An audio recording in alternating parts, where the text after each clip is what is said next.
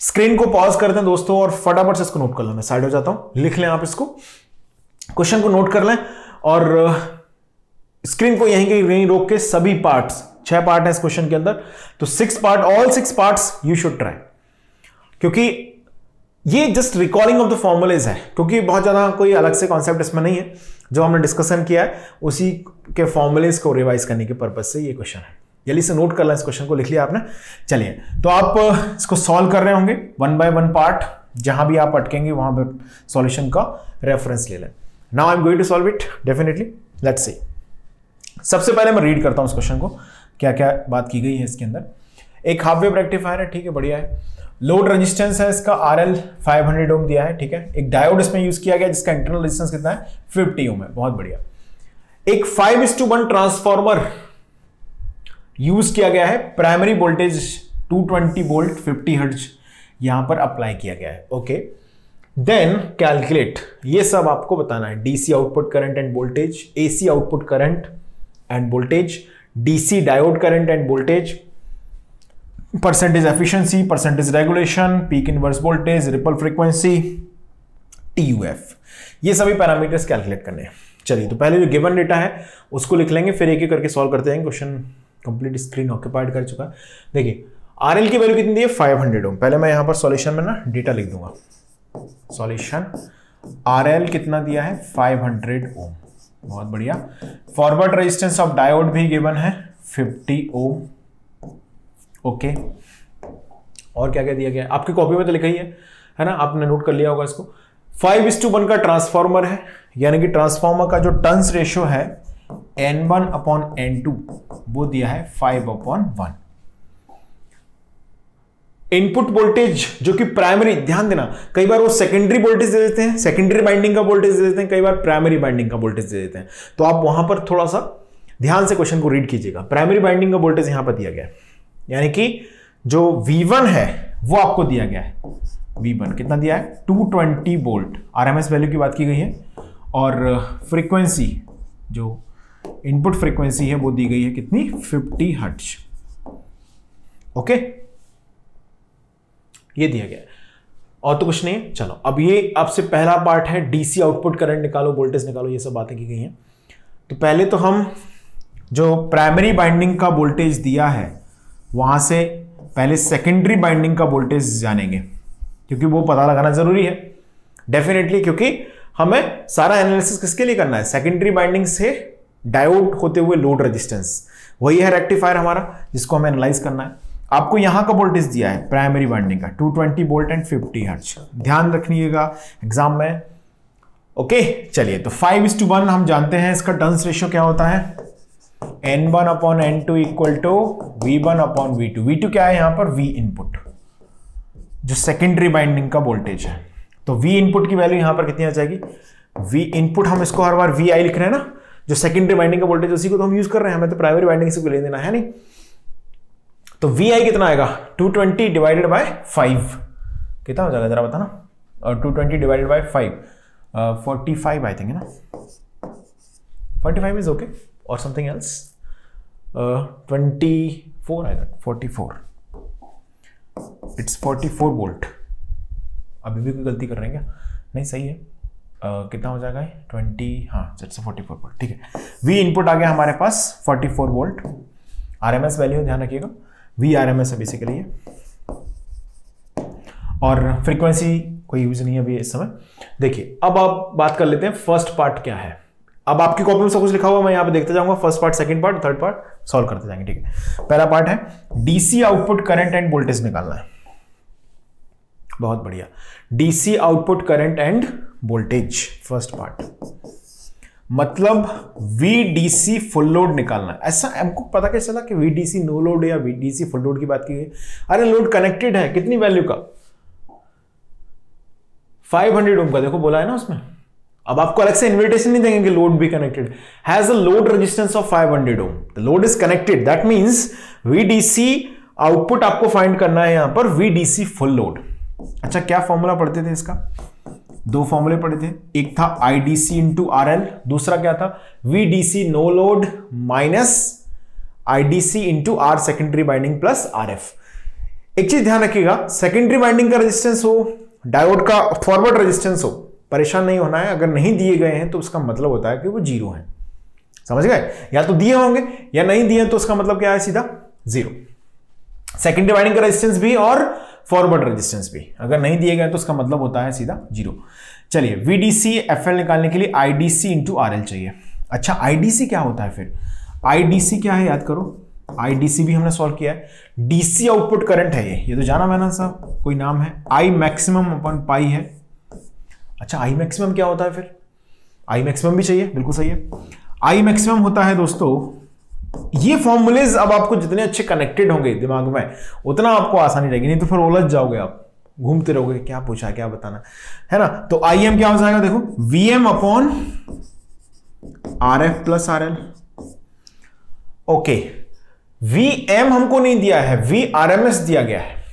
ध्यान दें secondary binding में जो वी इनपुट है, वो प्योर एसी है। है ना? तो वी इनपुट से हम आसानी से वी आर एम एस जो कि क्या होता है V maximum by root two होता है। तो यहाँ से हम वी मैक्स निकाल सकते हैं। कितना होगा? वी आर एम एस जो कि आपको दिया गया कितना? 44 44 फोर इंटू रूट टू मुझे ऐसा कुछ याद है कि ये 62.5 हो जाता है। 44 फोर इंटू रूट टू अब कोई करेक्शन हो तो गुस्ताखी माफ़।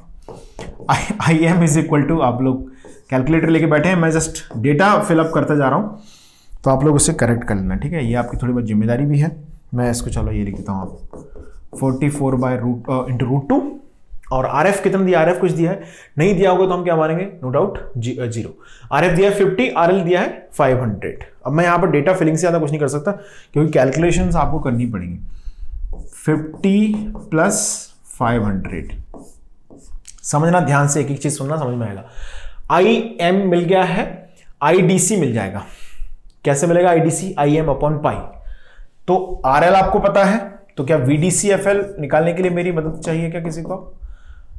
आई डोंट फील सो है ना? आई एम अपॉन पाई मैं डेटा फिल कर देता हूँ पूरा। आप लोग कैलकुलेशन तो सभी लोग कर ही लोगे, है ना? 550 ये तो हो गया I M into one upon pi into R L यानी कि 500 ये आपके पास आ जाएगा V D C F L क्या पूछा है फ़र्स्ट पार्ट में? DC output current and voltage DC output current तो यही हो गया। ये हो गया ईडी आईडीसी ये वीडीसी एफएल तो फ़र्स्ट पार्ट सॉल्व हो गया दोस्तों यहाँ पर। चलिए, अब बात कर लेंगे हम सेकंड पार्ट की। अब आंसर जो भी कुछ आए, है ना? डेटा मैंने फिल कर दिया कैलकुलेटर आपके पास है। गेट में भी कैलकुलेटर होता ही है वर्चुअल तो आप लोग आसानी से इसको देख लेना। जो भी आंसर्स आए इनके। फ़र्स्ट पार्ट डन हो गया डीसी आउटपुट करंट मिल गया एंड वोल्टेज मिल गया। अब बात कर रहे हैं हम किसकी?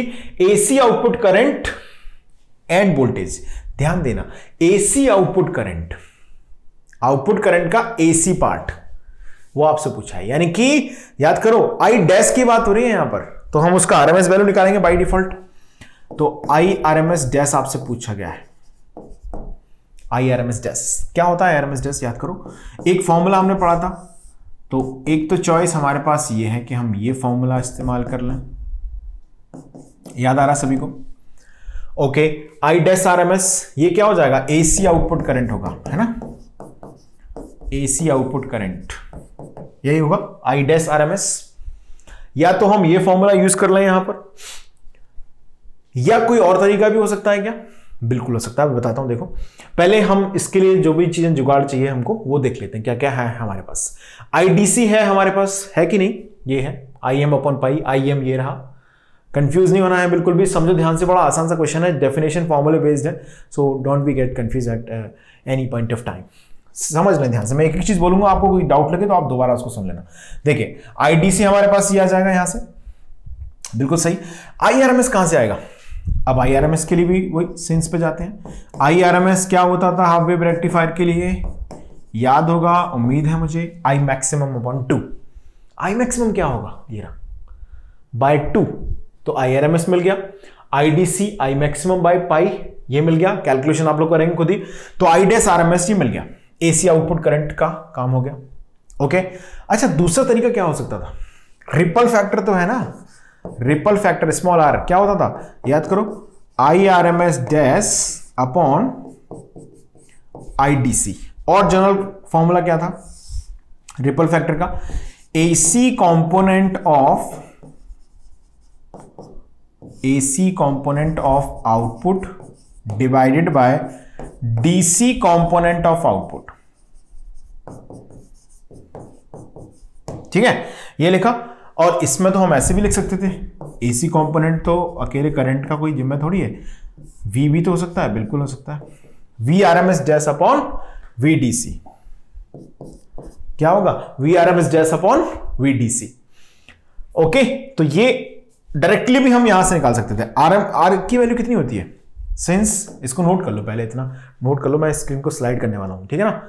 आप पहले फ़र्स्ट एंड सेकंड पार्ट में जितना लिखा दिया मैंने, सारा कुछ लिख लो आप। लिख लिया? चलिए।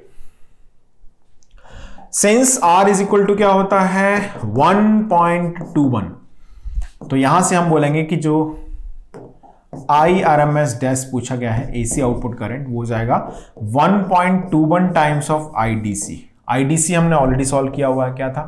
देखो जरा I M upon pi put कर देना, ये आ जाएगा। दूसरा हमें एसी आउटपुट वोल्टेज भी तो पूछा गया है V R M S dash ध्यान रखिएगा। तो क्या होगा ये भी 1.21 पॉइंट टू वन इंटू अब आपके दिमाग में घूमेगा, सर वीडीसी क्या है? वीडीसी फुल लोड अभी तो सॉल्व किया। ये जो भी वैल्यू है इसकी। VDC full load into this 1.21 तो ये आ जाएगा आपके पास एसी आउटपुट वोल्टेज जो आपको पूछा गया है सेकंड पार्ट के अंदर। स्क्रीन पॉज करके नोट कर लिया है। चलिए सेकंड पार्ट भी सॉल्व हो गया। फ़र्स्ट पार्ट हो गया AC output current and voltage second part भी हो गया फ़र्स्ट पार्ट भी हो गया। थर्ड पार्ट की बात करते हैं, देखो DC diode current and voltage DC diode current DC output current इन दोनों में क्या अंतर है? सोचो डायोड लोड कैसे कनेक्टेड है? सीरीज़ में। तो DC diode current DC output current लिख लो चाहो तो। थर्ड पार्ट में लिखो DC diode current and DC output current both are same third में लिखें। Diode and load resistance R L is connected in series hence